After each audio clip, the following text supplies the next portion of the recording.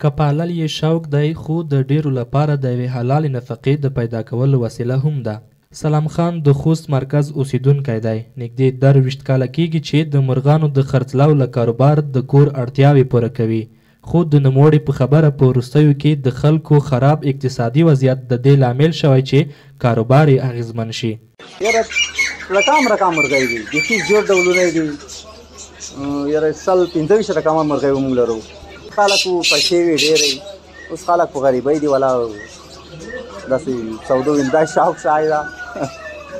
په افغانستان کې له څو لسیزو جګړو څخه د ستومانه شوو ځینو افغانانو لپاره به له مرغانو سره وخت تېرول د خوښۍ یوه شیبه وي،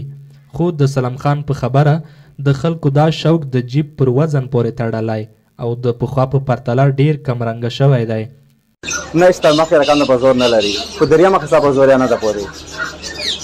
ولا چې خپل لارې فکر وکړي چې مخکې رقم ته بخي یا نه ده. په ورته مهال په خوست کې د مرغانو یو شمیر نور کاروباریان هم د خلکو پر اقتصادي ستونزو سربیره د سرپرست حکومت له خوا د ښکار بندیز هم ددې لامل ګڼي چې د پخوا په پرتله یې ګټه وټه کمه شي. دا غریب خلک دی پوه شوې چې ښکار هم ونه کړي نه روان کاروبار نشته باید د ښکار نه کړي پنځګه چې بټیر خو حلال شای ده هر سړی نه چې غریب سړی هم نسی بس پنځه روپۍ کې پیدا کوي ښکار یې بند کړی مرغان باندې هر رقم سودیان باندې باید دغه خلاص کړي ځکه ولا اردن شوی دي کومت کوي نه دي هر څه کې اردن ولا ولا یا ځکه چې خرڅېږي دی نه بس لږ بیان کمزوري کړی دی ولا خو بیا اخره مخکې پرتله هغه شی نه دي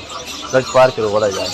اخوا ځايي چارواکي وايي چې د زینتي مرغانو د نسلونو ورکېدو له وېرې د مشرتابه له هدایاتو سره سم دوی په ښکار بندیز لګولی تر څو په اوږدمهال کې دا کاروبار په بشپړه توګه زیانمن نه شي.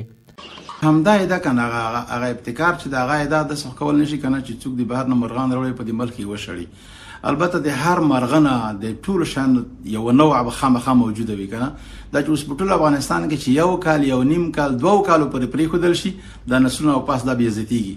هر مرغه چې د غز زیاتې دی شي مړزان زیاتې دی شي زرکان زیاتې دی شي او دا سندو لکه سیمر مرغه چې ورته توس وای په عربی کې دا زیاتې دی شي د سره کنه په خوست کې د مرغانو د خرڅلاو یوازینی مارکېټ چې شاوخوا پنځه ویشت دوکانونه په کې موجود دي، په کې لسګونه خلکو ته د کار زمینه هم برابره ده. دوی داسې مهال دا کاروبار د ښه والي او ښکار د خلاصون غوښتنه کوي چې د سرپرست حکومت مشرتابه په ټول هېواد کې د یو فرمان پر بنسټ د مرغانو په ښکار بشپړ بندیز لګولی.